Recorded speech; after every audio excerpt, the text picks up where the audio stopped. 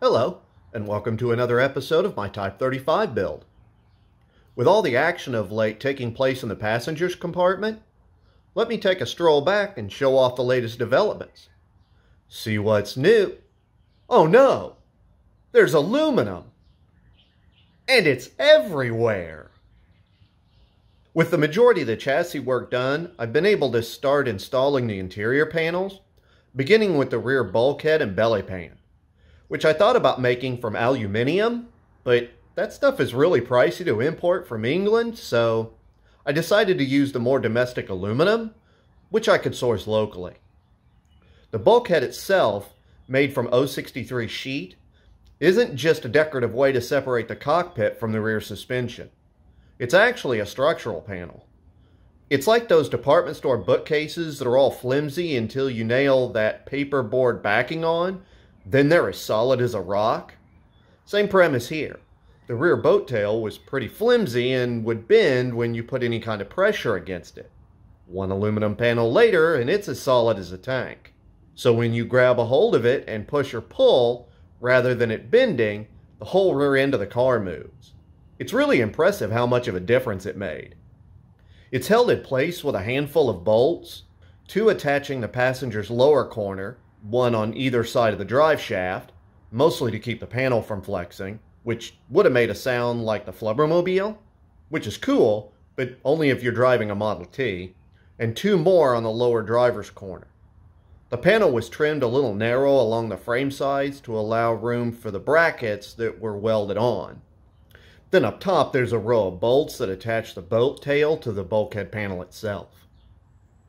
There was quite a bit of time spent trimming the panel to shape. I had a depth set inside the boat tail that I wanted it to sit at, and I wanted a real tight gap around the body, so there was a lot of trim and fit, trim and fit, trim and fit, until it just snicked in there real clean.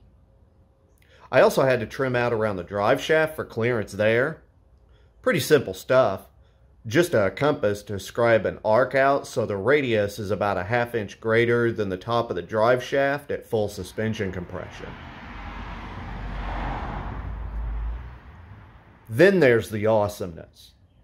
One of those innocuous little things that ends up being infinitely cooler than expected.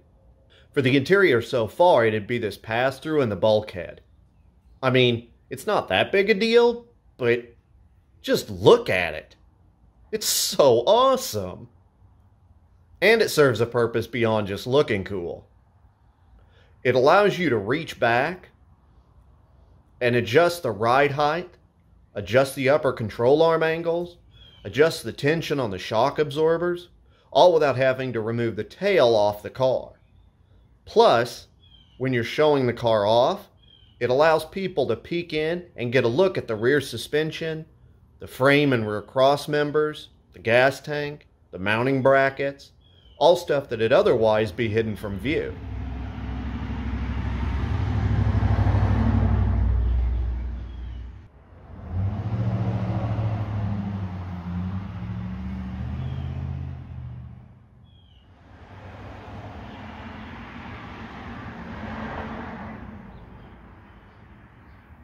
After the bulkhead came the floor pan also made out of aluminum, but this time from eighth inch thick sheet, which sounds all big and heavy, especially if you got steel on the brain, but it doesn't really weigh anything.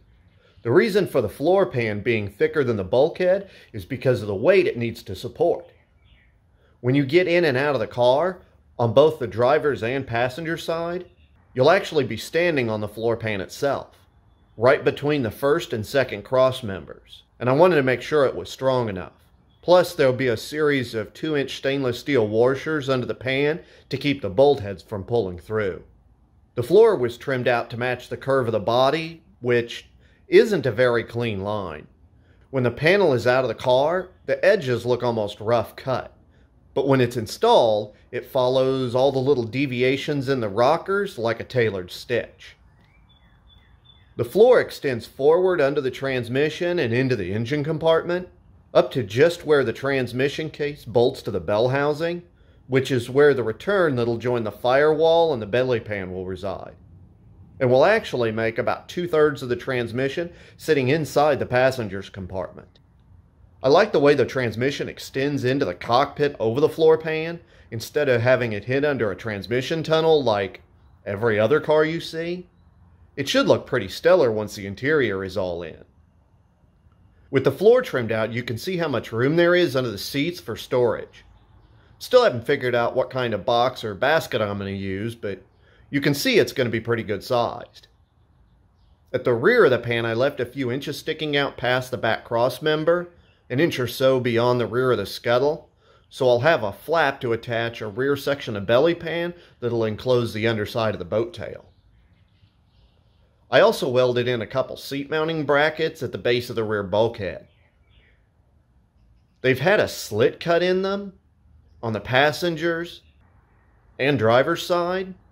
The seat back will rest on the bracket with a tab that'll slot down through it and hold the lower seat back into position. Which brings us full circle back to the bulkhead. It's neat how something so thin added so much rigidity. I kind of wonder if the floor plate will have the same effect on the chassis.